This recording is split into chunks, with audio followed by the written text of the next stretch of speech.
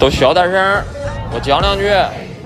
在上海必吃的小吃之一一定有汤包，吃汤包必来的一家店之一就有家家汤包。家家汤包是有三十多年底子的老品牌，很多明星都来过。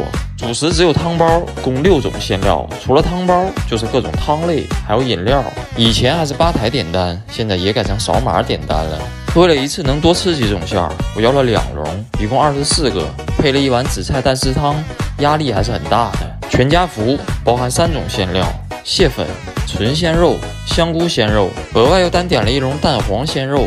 每一个汤包里都有一块蛋黄，不知道的还以为是蟹黄呢。还直接给配了一碟姜丝醋。吃汤包之前，我还学会了一句口诀：轻轻提，慢慢移，先开窗后喝汤。夹起来能感受到皮挺有韧劲儿的，汁水也挺足的。全家福就像拆盲盒一样，我猜第一个是蟹粉的，果然啊，蟹粉味儿很浓，但是一点都不腥。看看这汤包皮，太牛了，看上去那么韧，实际上那么薄。第二个我猜是鲜肉的，轻轻提，慢慢移，蘸上醋之后，一口一个，真过瘾。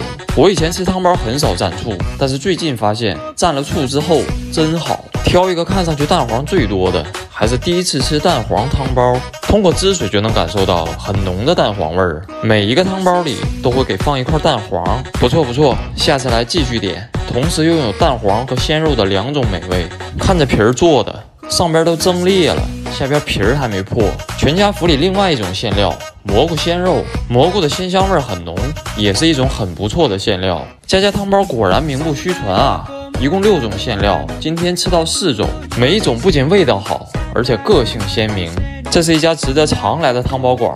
又是吃饱喝足的一天，那让我们明天见，天天见。我们下个视频见，拜拜。